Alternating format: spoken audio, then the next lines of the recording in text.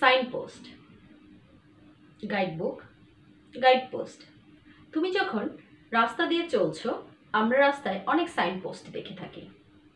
কি মার্ক করা থাকে?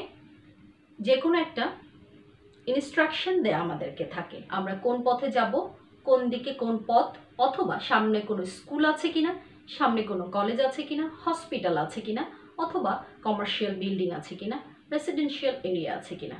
অর্থাৎ একটি সাইন পোস্ট আমাকে সহযোগিতা করে, আমি কি চাচ্ছি বা কোথায় কি আছে সেটা বোঝার ক্ষেত্রে। ঠিক তেমনি যখন তোমরা ইংরেজিতে পড়ছো, ইংলিশে লিখছো, সেক্ষেত্রে তোমাদের কিছু দিক নির্দেশনা খুবই জরুরি। যখন তোমরা সেটা অ্যাজ এ রিডার হিসেবে দেখছ অথবা তোমরা লিসেনার হিসেবে শুনে নিচ্ছ, সেক্ষেত্রে সাইন পোস্ট একটি গুরুত্বপূর্ণ ভূমিকা রাখে ইংলিশের ক্ষেত্রে। সেটি একজন রিডারকে এবং যিনি রাইটার তাকে হেল্প করে অন্যদের কাছে বোধগম্য হয়ে তুলতে যে সে কী বোঝাতে চাচ্ছে অ্যাকচুয়ালি তার উদ্দেশ্যটা কি? তার পারপাসটা সে ক্লিয়ারলি বোঝানোর জন্য এই সাইন পোস্টগুলো খুবই গুরুত্বপূর্ণ। একটি সাইন পোস্ট তোমাকে আরও সহযোগিতা করবে যখন তুমি একটি বিষয় থেকে আরেকটি বিষয়ে যেতে চাচ্ছ অথবা কোনো বিষয় সম্পর্কে অতিরিক্ত অনেক ইনফরমেশন দিতে চাচ্ছ।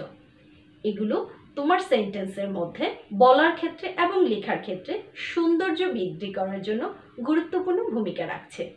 শুধু তাই নয়, একটি সাইন পোস্ট দেখে বোঝা যায় একজন রাইটার সে কি বলতে চাচ্ছে অথবা একজন স্পিকার কি বোঝাতে চাচ্ছে, তার প্রাঞ্জলতাটা কতটুকু আছে, অর্থাৎ সে কতটুকু রিডারকে অ্যাট্রাক্ট করতে পারছে অথবা লিসেনারকে কতটুকু অ্যাট্রাক্ট করতে পারছে তার স্পিচ শোনার ক্ষেত্রে।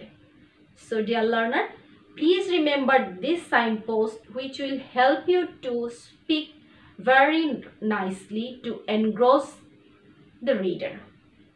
So, dear learner, have a look on the board. Signpost.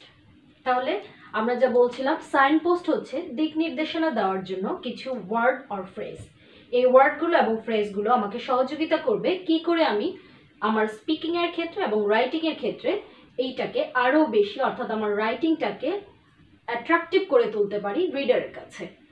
So dear learner let start to see প্রথমে আমরা দেখতে পাচ্ছি to introduce a sequence sequence বলতে আমি একটু বুঝে নিই ধারাবাহিকতা।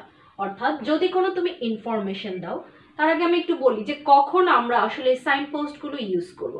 ধরে নাও, আমাদের আজকের টপিকস ট্রাফিক জ্যাম, অথবা যারা আইএলসের স্টুডেন্টস আছো, যারা আইএলস সম্পর্কে আইডিয়া আছে, তোমরা জেনে থাকবে যে সেখানে আমাদেরকে কিছু টপিকস দেওয়া হয়।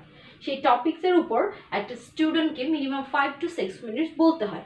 সেক্ষেত্রে যখন তুমি সেই এক্সামিনারের টেনশনটা পেতে যাবে, তখন তোমাকে অবশ্যই তোমার কথার মধ্যে, অর্থাৎ যখন তুমি স্পিকিং টেস্ট দিচ্ছ, সেক্ষেত্রে সেইটাকে আরও বেশি আকর্ষণীয় করে তোলার ক্ষেত্রে এই ওয়ার্ডগুলো ইউজ করে অথবা এই ফ্রেজগুলো ইউজ করে তুমি রিডারের কাছে এবং হচ্ছে যিনি লিসেনার আছেন, তার কাছে তোমার লেখাটি অথবা তোমার যে বলারটি সেটিকে আরও বেশি প্রাণবন্ত করে তুলতে পারো। ঠিক আছে, ধরে নিচ্ছি যে আমাদের আজকের টপিক ট্রাফিক জ্যাম অর্থাৎ আমি ট্রাফিক জ্যাম নিয়ে লিখব। আমরা জানি ট্রাফিক জ্যাম এর বিভিন্ন রকমের সমস্যা আছে। ফেস করতে হয় আমাদেরকে। যেমন আমি যদি বাংলায় বলি তখন কি হয়, রাস্তাটি ব্লক থাকে স্টুডেন্টদের স্কুলে যেতে দেরি হয় অফিস গোয়ার্স যারা আছে তাদের দেরি হয়, এবং ডাইং পেশেন্ট যারা আছে, যারা অ্যাম্বুলেন্স ক্যারি করছে, তাদের প্রবলেম হয়। সো এইরকম নানা রকমের সমস্যা দেখা যায়, এবং তুমি লেখার সময় একটার পর একটা লিখো। এবার তুমি ধরে নাও যে সেই লেখাগুলো লেখার সময়, অর্থাৎ যে ঘটনাটি ঘটছে, সেটা ধারাবাহিকভাবে যদি তুমি কথাটিকে আরও মাধুর্যমণ্ডিত করার জন্য এই ওয়ার্ডগুলো ইউজ করো ধরো আমি ফার্স্ট যে ইনফরমেশনটা দিচ্ছি সেক্ষেত্রে আমি লিখতে পারি ফার্স্টলি অথবা অ্যাট ফার্স্ট ট্রাফিক জ্যাম এই প্রবলেম হচ্ছে ওকে অথবা at the beginning at the very beginning alright এবার ধরো তুমি সেকেন্ড ইনফরমেশন দিবে, যেখানে কিনে স্টুডেন্ট সম্পর্কে বলবে students are suffering a lot for this traffic of jam so, in that case, you can use here secondly. Next, thirdly. Thirdly, we can say the patients who are going আসেন signpost signpost নিয়ে আমরা কথা বলছি, যেটির অর্থ হচ্ছে দিক নির্দেশনা দেয়া। অর্থাৎ এই সাইন পোস্টগুলো হতে পারে, তোমরা দেখতে পাচ্ছ, আমি লিখেছি ফ্রেজেস অথবা এখানে কিছু ওয়ার্ডও হতে পারে। এই সাইন পোস্টগুলো তোমাদেরকে সহযোগিতা করবে যখন তোমরা কোনো ইনফরমেশন লিখছো অথবা বলছো। ধরে নাও যারা তোমরা এসএসসি পড়ছো এইচএসসি পড়ছো, তাদের একটা টপিকসই আছে যেটা সেন্টেন্স কানেক্টরস তোমরা যদি আমার ভিডিও লিঙ্কে দেখো, তাহলে তোমরা দেখবে যে আমি সেন্টেন্স কানেক্টরের উপর তোমাদের একটি ক্লাস নেওয়া আছে, যেটি তোমাদেরকে সহযোগিতা করবে এই টপিকসটি আরও বেশি ভালো করে বোঝার জন্য। সেক্ষেত্রে যারা আইএলসের স্টুডেন্টস আছো, তারা তোমরা শুনে থাকবে স্পিকিং টেস্ট নামে একটা টেস্ট হয়ে থাকে আইএলসে এবং সেখানে তোমাদেরকে একটা টপিকস ধরে দেওয়া হবে। এই টপিকসের উপর মিনিমাম তোমাদেরকে ফাইভ মিনিটস বলতে হবে। এবং তখন তোমাদেরকে নিজেদের যে ইনফরমেশনটা তোমরা দিতে চাচ্ছ, সেই ইনফরমেশনটাকে আরও বেশি ফ্রুটফুল করার জন্য তোমরা কিছু সাইন পোস্ট ইউজ করতে পারো। আর আমরা সাইন পোস্টটা বেসিক্যালি কখন ইউজ করব? ধরেন আজকে আমি তোমাদেরকে দেখাবো এই সাইন পোস্টের যদি কোনো ধারাবাহিকতা বোঝায়। To introduce a sequence sequence মানে হচ্ছে ধারাবাহিকতা।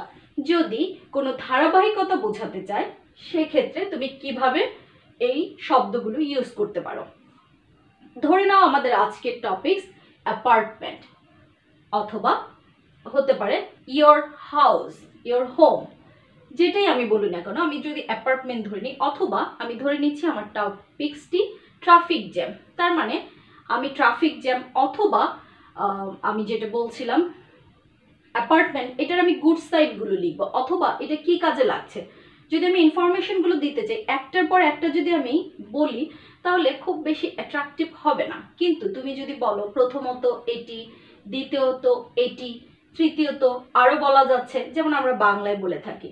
আরও বলা যাচ্ছে এই রকম করে ইংরেজিতেও এই শব্দগুলো তোমাদেরকে বাক্যের মধ্যে আরও বেশি ফ্লো নিয়ে আসতে সহযোগিতা করবে। যা বলছিলাম, আমাদের আজকের টপিক যদি হয়ে থাকে ট্রাফিক জ্যাম তাহলে ট্রাফিক জ্যামের অনেক অসুবিধা আছে। সেই অসুবিধাগুলো তুমি কীভাবে লিখবে? সেক্ষেত্রে এই সিকোয়েন্স হেল্প করবে, এই সাইন পোস্টগুলো তোমাদেরকে ইনফরমেশনটি দিতে। ধরে যদি নেই, আমি প্রথম প্রবলেমটি লিখছি ফার্স্টলি অ্যাট ফার্স্ট অথবা অ্যাট দ্য বিগিনিং সো আমরা লিখতে পারি at the beginning we can say that traffic jam has lots of problem we have to face secondly কি করতে হয়? Secondly the students has to face a lot because of traffic jam next আমরা বলতে পারি thirdly thirdly দিয়ে আমি আরেকটি information দিতে পারি। অর্থাৎ আমি ধারাবাহিকতা বজায় রাখার জন্য ফার্স্ট সেকেন্ড থার্ড পর্যন্ত ইউজ করব। ডিয়ার লার্নার অনেকে ভাবছ থার্ড যেহেতু বলা আছে, তাহলে আমি ফোর্থ ফিফথ সিক্স এভাবে কেন ইউজ করছি না? না ডিয়ার লার্নার আমরা চেষ্টা করব থার্ডলির পরে আর আমরা যাব না। অর্থাৎ আমরা এই নাম্বারগুলো এভাবে না বলে তখন আমাদের লেখাটাকে আরও বেশি সুন্দর করার জন্য আমরা এখানে ইউজ করতে পারি ইন দ্য মিডল অর্থাৎ মাঝামাঝি যখন কোনো ইনফরমেশন এসে তুমি দিবে, সেক্ষেত্রে তুমি এই শব্দটি ইউজ করতে পারো, যেটি তোমার বাক্যটিকে আরও বেশি আকর্ষণীয় করে তুলবে।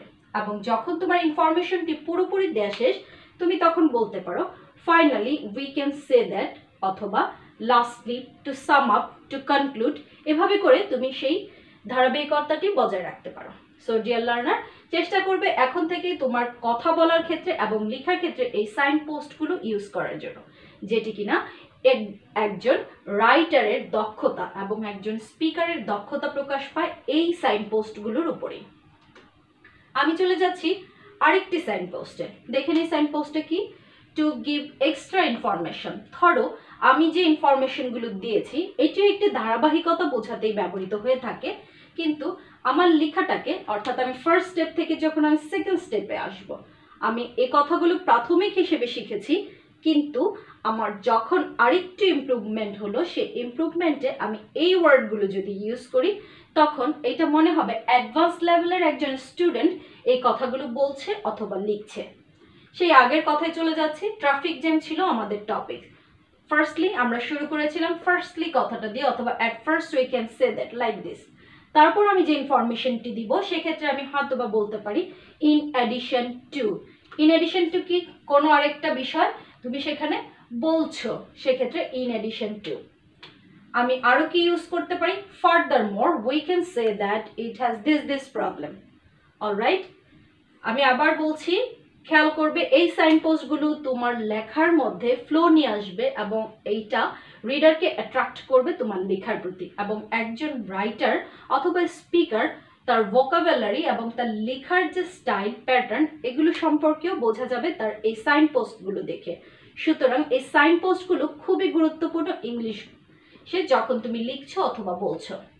তারপরে চলে যাচ্ছি words more moreover moreover এবং words more at the same time এই দুটি তোমরা ইউজ করতে পারো। যখন তুমি ইন এডিশন ইউজ করছ, হয়তোবা তুমি তখন এগুলো দরকার পড়ছে না। অর্থাৎ তুমি এলোমেলো ভে- ভাবে বিভিন্নভাবে এই ওয়ার্ডগুলো ইউজ করতে পারো। তারপর আরও ইউজ করতে পারো বিসাই বিসাইডস মানে পাশাপাশি। এই ঘটনা পাশাপাশি এটাও ঘটছে। ইভেন তুমি ইউজ করতে পারো at the same time so extra information অথবা কোনো সিকোয়েন্স ধরে রাখার জন্য এই দুটো স্টেপের সাইন পোস্টগুলো তোমার লেখাটাকে আরও বেশি আকর্ষণীয় করে তুলবে। So dear learner please remember this sign post and try to memorize them and use them in your writing or speaking Of course, it will help you a lot to speak in English very fluently and it will make you mm, extraordinary to the reader or listener. So, dear learner, এখানে কোনো বিকল্প নেই এই sign পোস্টগুলো মুখস্থ করা ছাড়া অর্থাৎ you have to memorize this sign sign post so that you can apply them in your speaking and writing so that's all for today. Thank you everyone.